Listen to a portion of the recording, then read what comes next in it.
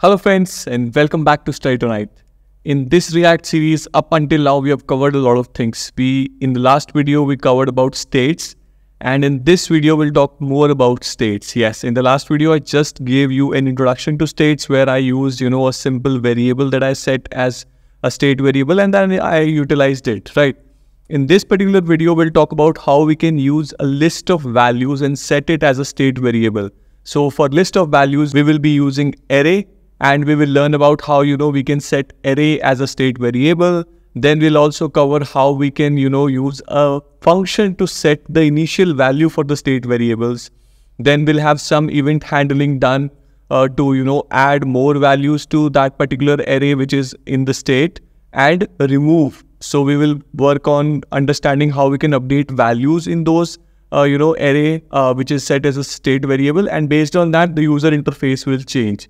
So a lot of things will be covered in this particular video. So watch this video till the end. I will be covering a lot of concepts like destructuring of array, how to use filter function on array to you know remove uh, values from array, how we can use map. So we have already covered how we can use map function in array to you know iterate over the array and to perform some operation maybe you know create user interface using JSX so all those things I've covered in previous videos if you're watching this video directly I would seriously recommend you to watch the previous videos as well. I've covered everything that one should know while learning React JS in 2023 all the modern concepts all the modern syntax starting from the video 1 till this video. So let's get started. So as you can see on the screen I have a blank uh, component my app component has nothing inside of it. So we'll create everything in this video itself. So this can be a little long video but please follow the video till the end. And i would recommend you to write code side by side along with me so that you understand whatever i'm writing. And when you write code the chances of you remembering everything and understanding the concepts are more.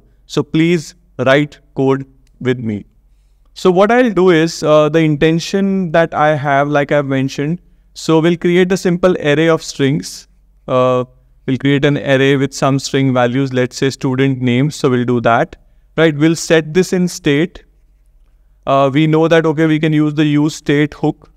And uh, when we use this, we have to provide a variable and a setter function. So we have covered this in the last video as well. Watch that video if you have not seen it already. Then what we will do is we will set an initial value for this array using a function, right? And we'll have a couple of so in the user interface let's say you know we'll display all the values that are there in the array. And maybe you know we'll have a remove button to update or remove values from array. And as we remove the value from the array the UI should get updated. And we'll have some you know form uh, let's see we can have an input form or we can simply have buttons with some values. Uh, whenever a user clicks on any button it gets added to the array and it starts showing at the bottom of the list just like existing elements of the array. So this is what we will be doing. Now this is a very good start. Now I'm not jumping directly on to-do application or other uh, simple projects, but I'm giving you an introduction of how you can handle array when they are set as state variables.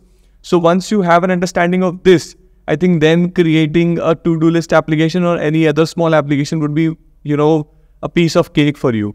In the next video, I'll also cover form handling because that is also another very important aspect. Uh, whenever you're creating any web application, chances are you will be creating forms. So you should know how you can handle forms in React.js. So without delay, let's get started. So what I'll do over here is, uh, let me just first create a function because like I said, you know, we will be uh, creating a state variable, which will be an array and the value, the initial value uh, will be populated in that particular state variable using a functions. So let me start with uh, creating a simple function. Let's say const create data, right? And uh, so I'm using the arrow function style and this will just create a simple array. We can directly return the array as, as well, but I want to, you know, uh, show this to you so that you guys don't get confused. John, Ron, uh, uh, okay, so we have an array and we will just return this array from this function. Now we have a function which is returning an array to us. Uh, now let's use the state. So let's define our state. uh, let's say students is the state variable and set student students is the function setter function then we use the use state hook it is automatically imported by vs code and inside of this i will use the create data function to set the initial value for my student's state variable now this is set right how we can know that this is set i'll just simply print this over here and I'm getting all the values Abhishek, John, Ron, Aditya. But this is not how I want to show it. I want a simple user interface. So I'll be using a map function over here to showcase all the values. So students.map, this is something that we have covered in the previous videos. So I would recommend you to please go check those videos out. And also, if you have not subscribed to the channel, please to subscribe to the channel. So in the map function, we will set another callback. So we'll have a callback function. We're creating an anonymous function, which will take the value and the index, let's say. And inside of this, I want to create, uh, let's say, so I have a couple of classes already created in my CSS file for button and for, you know, basic card UI. So I'll be using card and flex apart. Okay. All right, inside of this, let me just have a span and in this, I will add the values. Let's see if we are getting anything or not. We are not getting anything. Why that's the case? Let me just see if the terminal is running or not. npm start.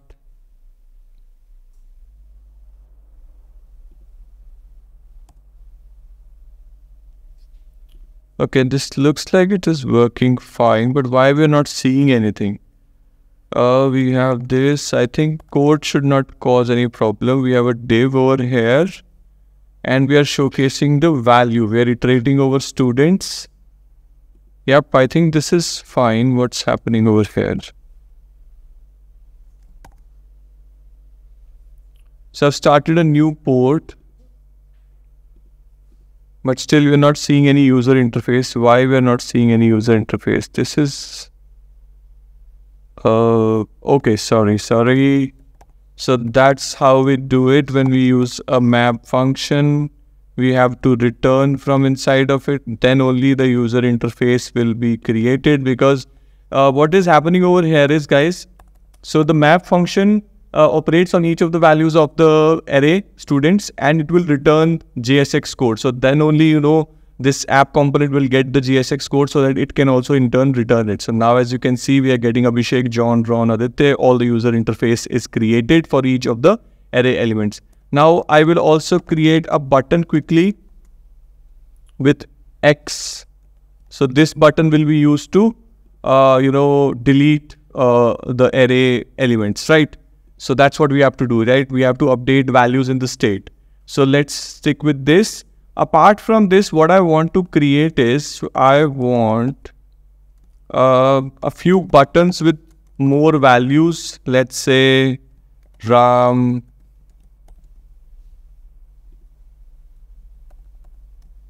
Jenny,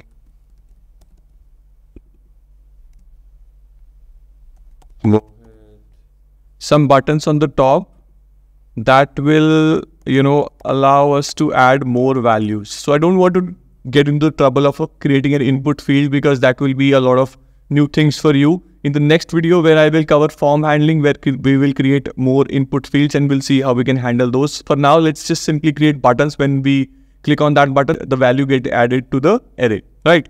So ram jenny mohit and what else what else what else? I'm not able to get you know think about names. So let's do this, okay? So I'll add some classes to this just to make this look a little better. Okay, this is looking nice. Uh, do we have any other class? Flex apart, card is there. Okay. All right. So let's just quickly copy all this.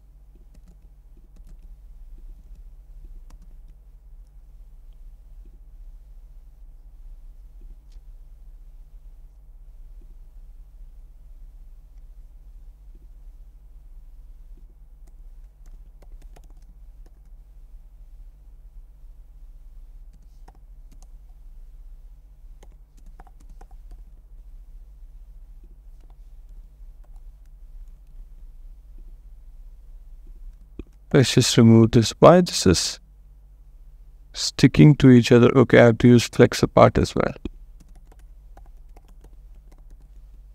Alright, so now the UI looks nice. We have these buttons. These buttons are for removing the element and these are for adding new values to the uh, this particular array, right? Now when a user clicks on all these buttons, we'll have to have an on-click handler so that you know whenever a user is clicking on these buttons, a function is triggered which will internally update the value of the state variable which is our array. So here I'll provide two things. One is that I'll have a value attribute with the value that I want to add and I'll have an on-click new uh, attribute added which is like add to arrays or you know add students okay so I'll quickly copy this all of these and I'll update the name Jenny Mohit so what I'm doing over here is in this button what I've done is I've added a value attribute because when the button is clicked inside the add students function, what I will do is I will get access to this button element and I'll pick the value for the value attribute.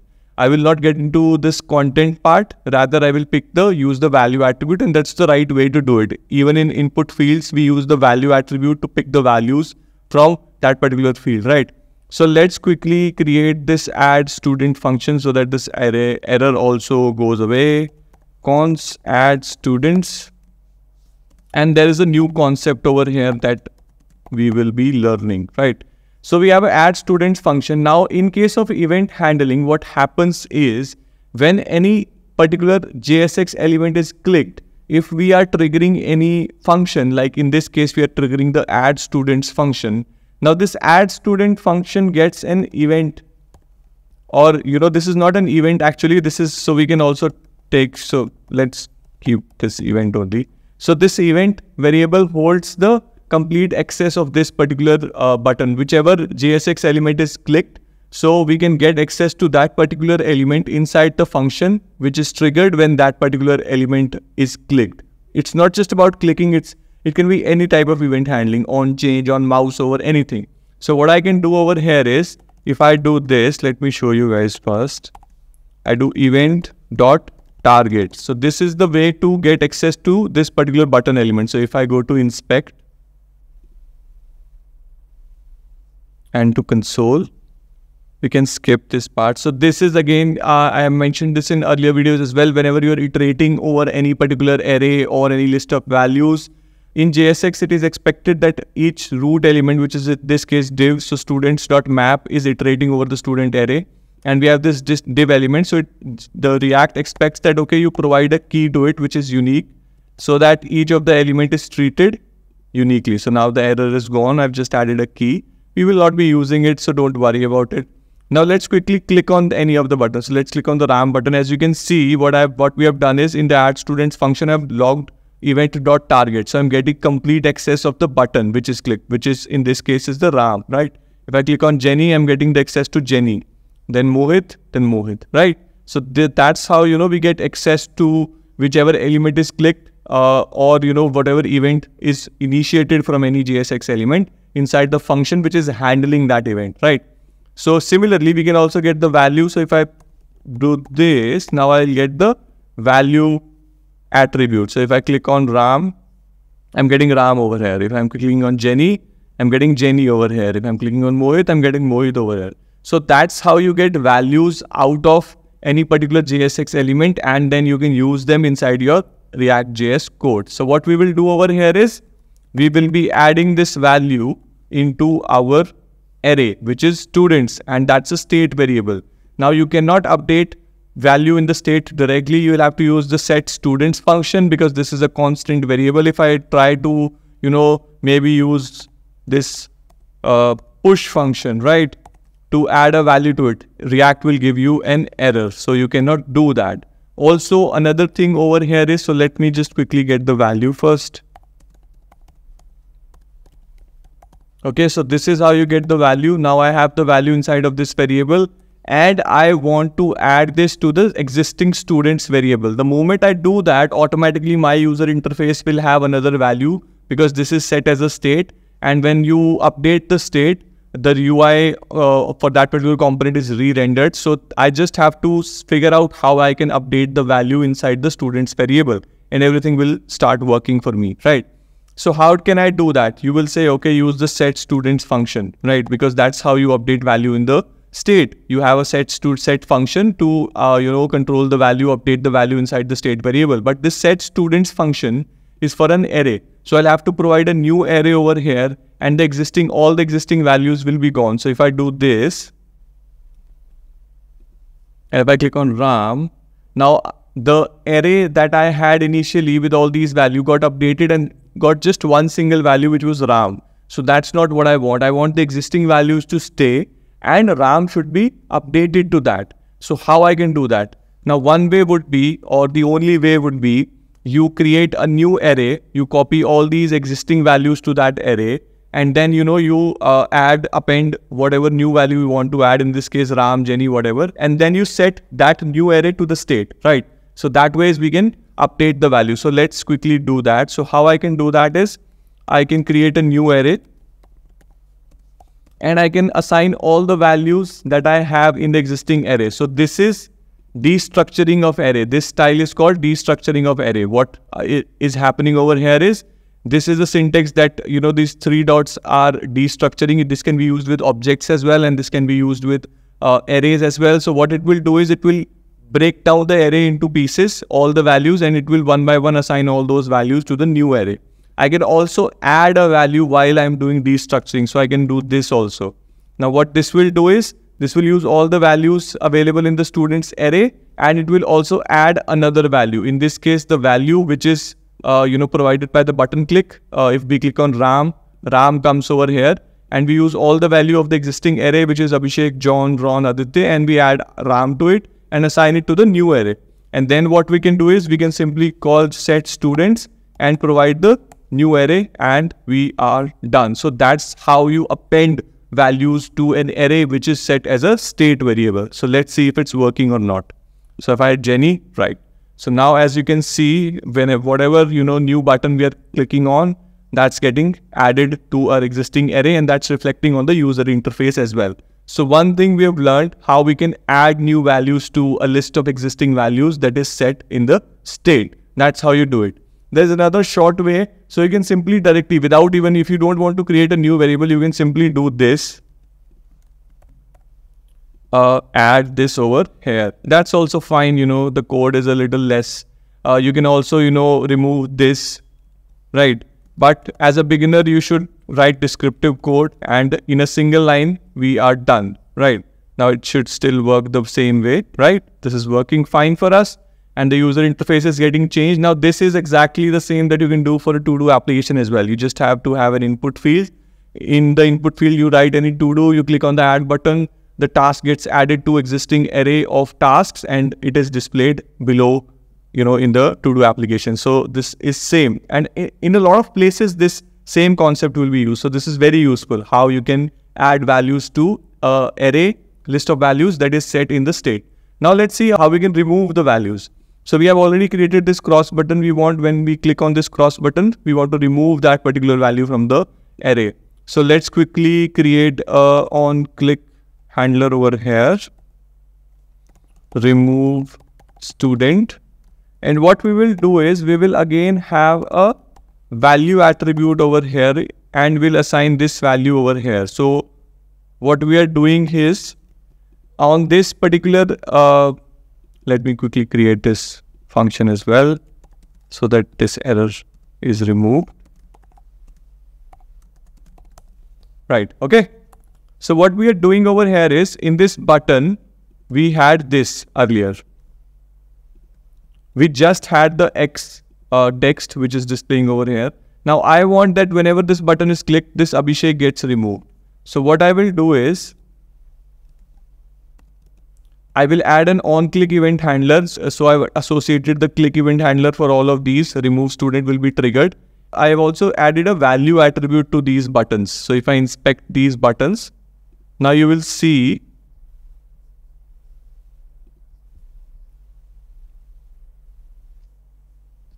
that each of this button has a value. So this button has Abhishek value. In the next one, it has John value.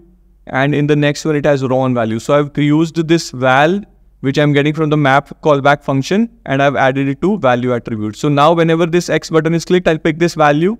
I'll look for that value in the array and I'll just remove that value, right? So we will be using value to find out the uh, same value inside the array and we'll just remove that, right? So in this on click function, uh, this remove student function, what we will do is, the first thing is again, we get the value that we want to remove, right? How we do that? We use this event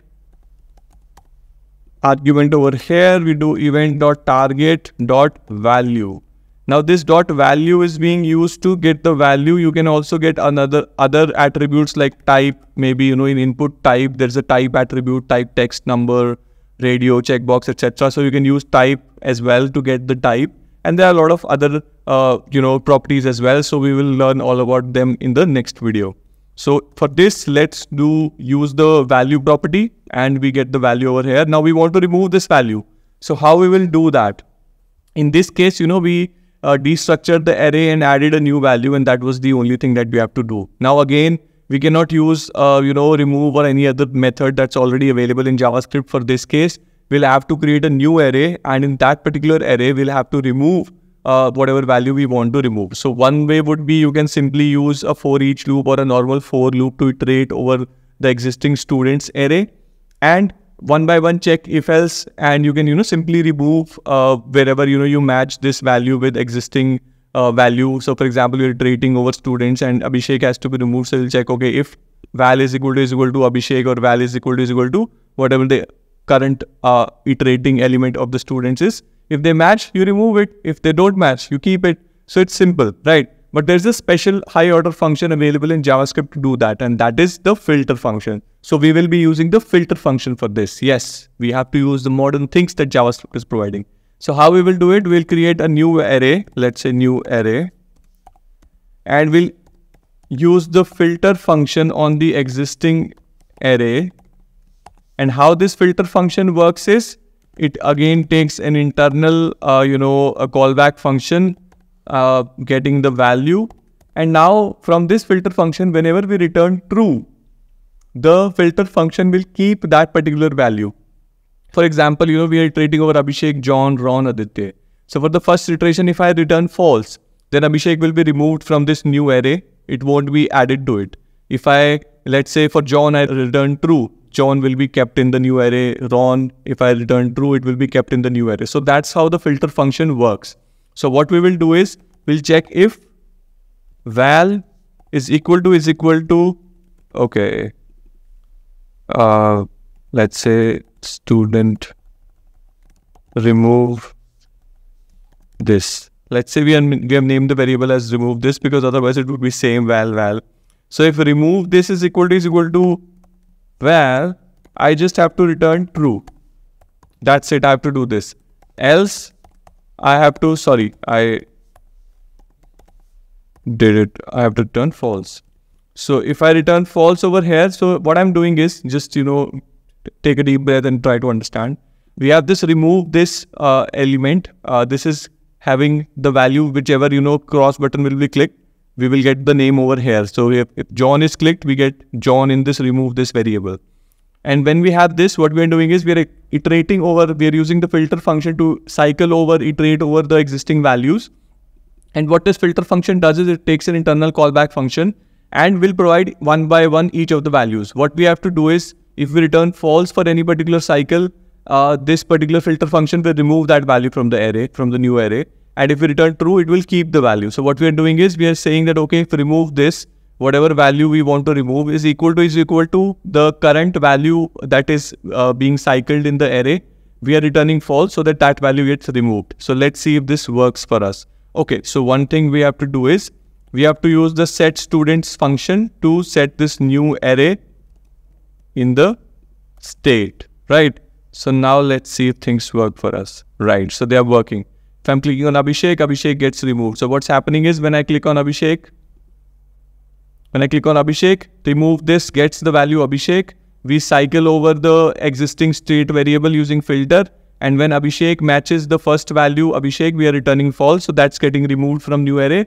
Rest all of the values we're returning true. So all of those values are kept and we are setting that in the state. So that's what is happening. So if I click on this, removed, Aditya removed, Jenny added, Mohit added, Jenny removed, Supriya added, John removed, Ram added.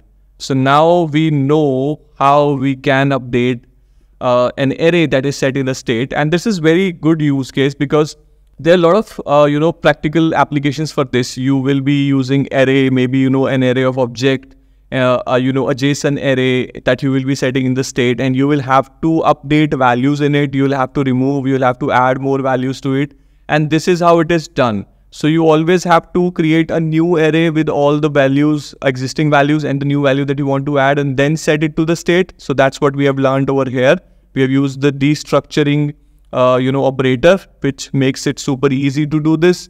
And then if you have to remove any particular value from an array, then you can use the filter high order function.